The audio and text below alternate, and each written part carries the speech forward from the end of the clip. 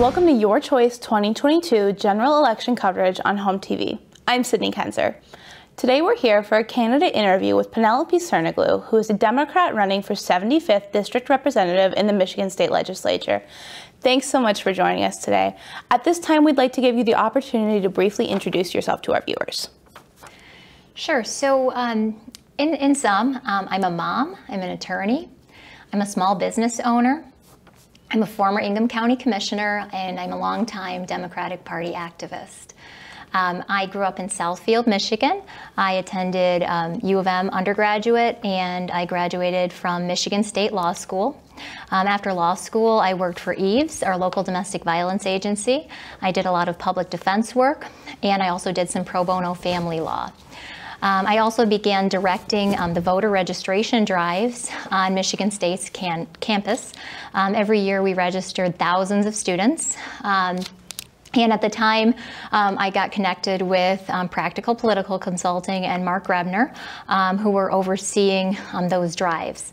I took over as the owner of Practical Political Consulting um, several years later.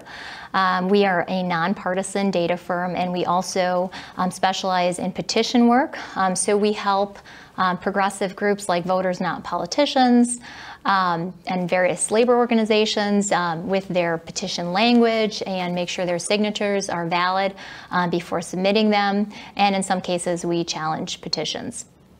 Um, as a county commissioner, um, I spearheaded the trails millage um, and the animal shelter millage. And um, I've been active in our community um, just in many different um, roles for the past 20 years, engaging with a lot of different nonprofits, a lot of different campaigns and issues. and I hope to continue to serve. Thank you. Each 75th district candidate will be asked a standard list of questions. For question one, if you have any more to share on this, please explain how your education and professional background make you an ideal candidate for 75th district representative in state legislature. Sure. So I think that um, you know by being active in the community and um, doing so many um, different things, um, it will enable me to be an effective advocate um, for our district and um, just really work with everyone in the community to ensure that we're all represented. Please tell us about the communities and people of the 75th District and how you plan to meet their needs. Uh, sure. So the 75th House District is well, as they all are, a new district. Um, and I, I, really love this district. It's East Lansing, um, part of Meridian, north of Grand River. Um, all the way up through St. John's, so Bath Township and um, various other Clinton County townships, as well as Laingsburg. Um, I started my door-to-door program um, in Laingsburg. Um, and then went on to Clinton County. Um, and I've since then knocked over 10,000 um, doors and had so many conversations. And I, I was really um, just so happy to connect with all the voters in the new parts of the district. Um, and they were very excited that someone was, you know, knocking on their door, um, making that effort in some of the more rural parts of the district, especially uh, me being a Democrat, they had not had Democrats, um, you know, representing their community um, for a while. Um, so I made a lot of, um, you know, really good connections throughout the district. And um, you know, one thing I learned um, as I did all those doors um, was that um, in a lot of cases, um, you know, we all had the same um, issues and values. I mean, the moms and dads in St. John's had the same hopes and dreams for their kids as the moms and dads in Haslett. And the seniors, I mean, in Williamston Township had the same, you know, concerns with health care and fears for our democracy um, as the seniors in East Lansing. So I, I, I heard the same issues come up um, time and time again. Um, and, you know, I think that, um, you know, it's, it's a good thing now that our districts um, encompass, you know, not only um, one type of, um, you know, demographic, but we have like suburban and rural communities um, in the same district, or urban and rural and suburban, so that we can all, um, you know, more effectively um, serve the state as a whole and really understand, you know, the different issues that people in different communities uh, might face. So I'm I'm really happy with this new district and. Uh, and serving in it. The next several questions will cover prominent issues throughout Michigan. First of all, please comment on Proposal 22 3 and share your thoughts on the current and future governing of abortion in Michigan. Sure. So um, I very much um, support Proposal 3. I am 100% um, pro choice. Um, a few months ago, I shared my own abortion story. Um, I, you know, when I first got married, I, you know, very much wanted to have um, a child, and you know. I was in a position um, where my husband and I, um, you know, we, we were facing um, infertility issues. Um, so we were seeing a specialist, and um, I had two miscarriages. And one of, uh, on my second miscarriage, I had to have a D&C procedure, which actually could be affected um, by anti-abortion laws and restrictions.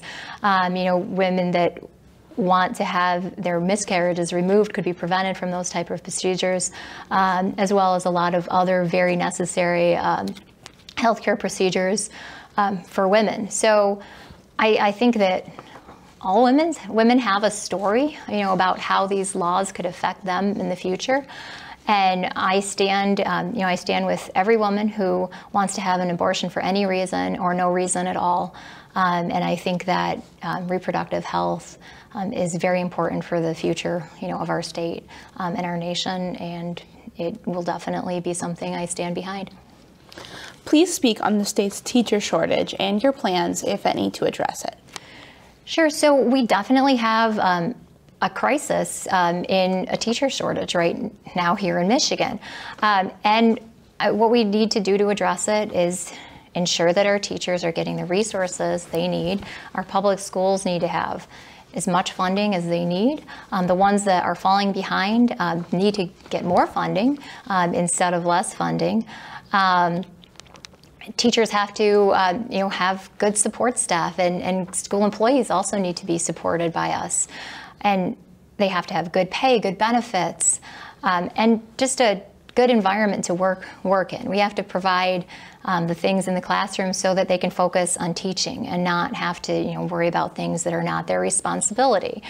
Um, for example, they don't need to you know worry about arming themselves. They need to you know worry about teaching kids, and we also need retention programs and recruitment programs. Um, a lot of times that's loan forgiveness, incentives, um, and making teachers really feel respected because I believe it's the most important job um, that anyone could have is teaching our kids. So we should treat it that way. Uh, I mean, teachers should be listened to and respected, and we should, you know, ask them what they want and figure out how, how we can make that happen. Share your thoughts on and any plans for school safety throughout the state. Sure, and uh, thank you for that question. That that has, uh, and and to me that that means um, gun safety, and that has come a lot up a lot um, throughout the campaign. Um, I mean, you know, as a mom, uh, most recently, my my daughter, she's in first grade. She said we're going to have a um, a, you know, a school shooter drill. And that's something no one's child should ever have to experience at like six years old. And we can change that. We have the responsibility to change that. Um, and going you know through my district I, I, wasn't sure you know how everyone would feel about it if that would be different among gun owners um, you know versus non-gun gun owners but again, what I found was that everyone was concerned with this issue. Um, you know, and it wasn't, it, you know, it wasn't a only Democratic issue. Republicans had concern as well. Um, after, um, you know, one of the shootings, I was canvassing in St. John's, and I was, you know, thinking like, well, you know, what, you know, are people going to be saying, you know, today about issues? And everyone I talked to wanted to talk about you know, gun safety. Uh, one woman, she told me, I have 10 guns in my house, but I want my grandkids to be safe at school. So I want to see common sense gun safety legislation. And that means a lot of different things to a lot of people. Um, but you know, some things we can easily do is safe storage, safe storage, extreme risk protection orders, banning military style weapons um, raising the age, raising the waiting period, universal background checks. And you know, from what I found, um, there are a lot of um, gun owners who support this. I mean, in, in my meet and greets that I had, um, you know, throughout throughout the um, the district, um, some rooms I, I would talk to, you know, I would say, well, raise your hand if you're a gun owner. Everyone raised their hand.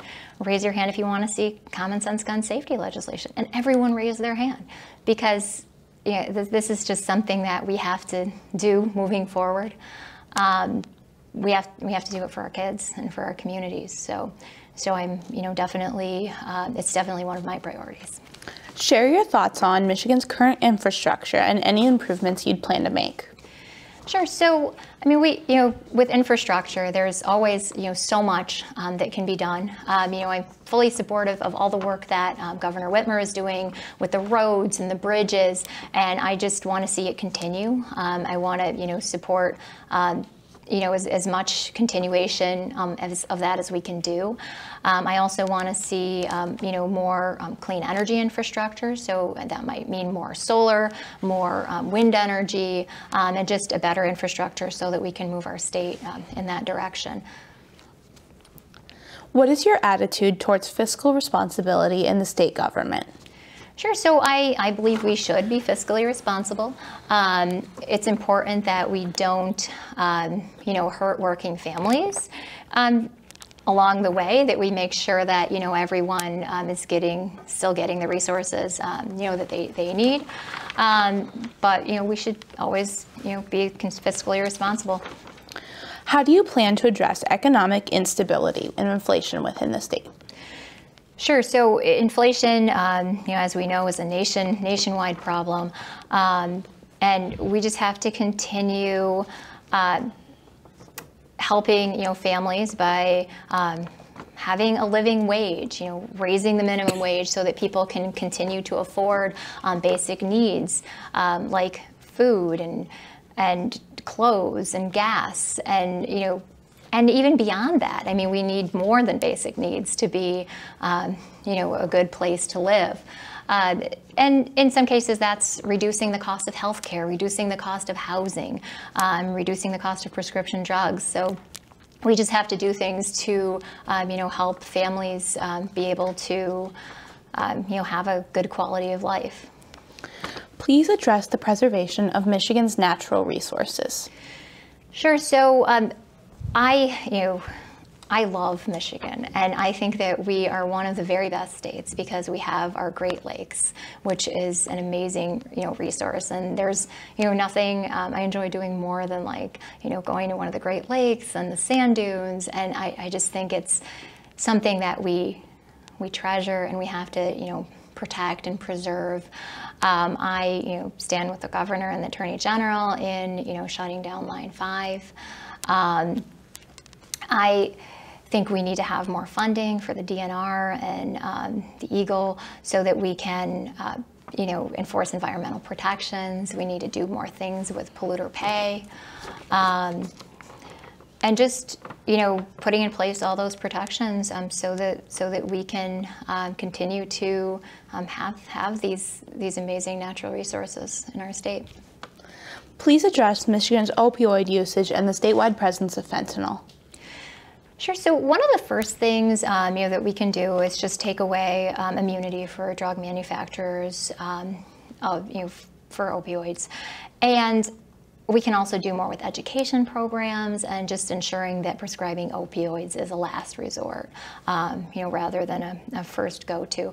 Um, and we need to have more um, access available for people who um, do have an addiction and need to get help. We have to, we just have to have more resources available, um, you know, both locally um, and statewide, so that we can um, we can help them.